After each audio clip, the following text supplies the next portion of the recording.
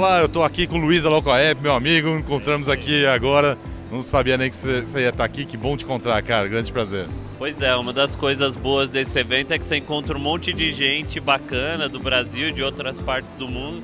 Você nem imagina e aqui virou um ponto de encontro de todo mundo que trabalha com tecnologia, marketing digital, startups.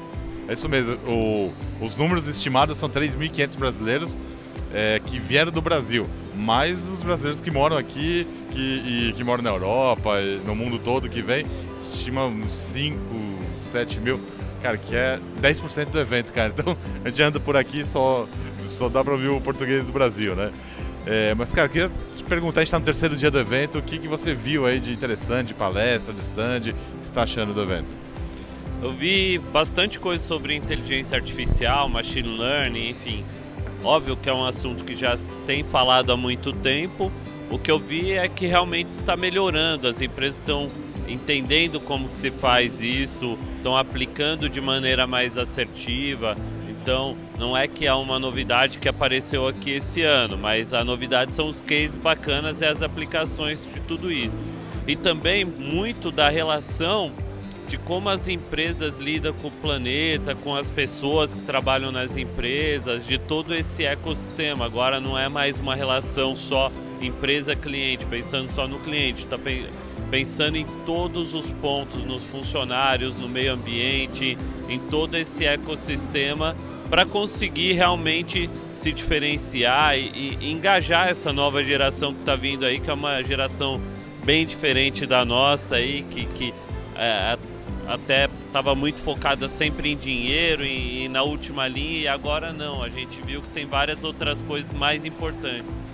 É, a gente está é, falando de é, sustentabilidade, não é só o meio ambiente. Claro, o meio ambiente é super importante, mas sustentável como um todo, né? Exato, exatamente, sustentável como um todo. E outra coisa que também eu vi, legal, acabei de sair de uma palestra sobre veículos autônomos, como que, que a tecnologia vai ajudar não só no veículo autônomo, mas no, nos veículos que estão por vir. Então, veículos integrados com a Alexa, onde você tem toda uma experiência, parece que você está dentro da sua casa lá, com uma série de, de coisas bacanas que vão ajudar. E veículo autônomo, até acabei de ver vai, uma corrida de veículo autônomo da Robo Race, que eles têm um projeto.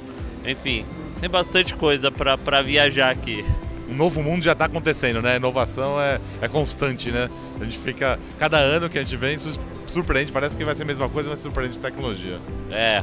A gente, esse evento a gente chega no final do dia no, no hotel, tá com a cabeça cheia, até pesada de tanta coisa que você vê e, e dá até uma sensação é, de que, sei lá, que tem muita coisa para fazer, que tem estamos para trás, tamo, tem, tem que evoluir muito. Mas, obviamente, também tem que fazer um parênteses que a gente vê uma série de novas tecnologias, de coisas que vão ser aplicadas, a casa do futuro lá, não sei o quê.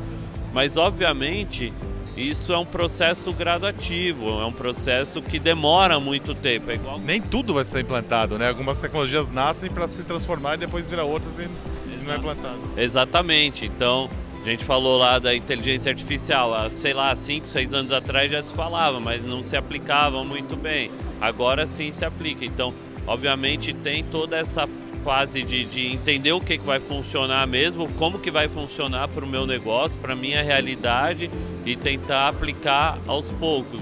Mas é que a gente sai com uma sensação de que realmente estamos mais próximos daquilo lá que os Jacksons é, traziam, acho que até uma pessoa falou, ah, já tem que ter a versão 2.0 dos Jacksons, que essa daí já foi, já, agora tudo virou realidade, né?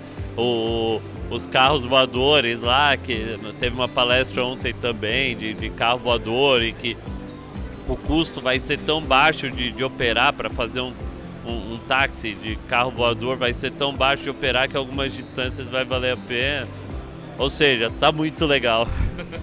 Muito bom, cara. Ótimo conversar com você, ótimo te, te encontrar aqui. Com certeza está levando muita inovação lá para a Local Web, né? Muito obrigado. É isso aí. É isso aí. Vamos ver tudo que dá para aplicar lá na Local Web e fazer o possível para que isso vire realidade no Brasil também. Obrigado pela entrevista, obrigado pelo seu tempo aqui. Valeu. Voltamos nos, outros, nos próximos vídeos.